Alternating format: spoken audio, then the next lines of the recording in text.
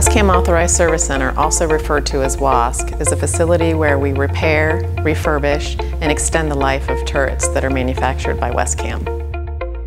Our customers are military, law enforcement, airborne, land, and sea, located worldwide.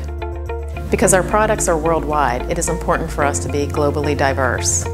We are located in a variety of countries that enable us to service our customers worldwide.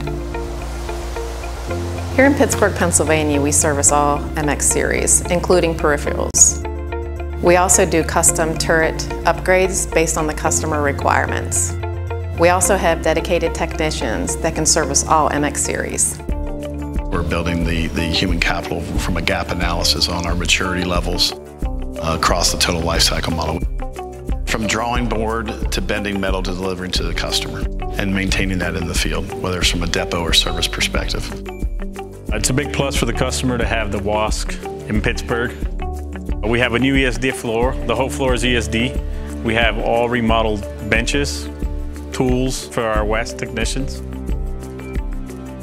We have line of sight windows so we can look at line of sight targets for incoming inspections, repairs, outgoing inspections before the customer gets their asset back. Now they can come direct to us and we can ship right back so turn time is quicker. That's a big plus for the customers.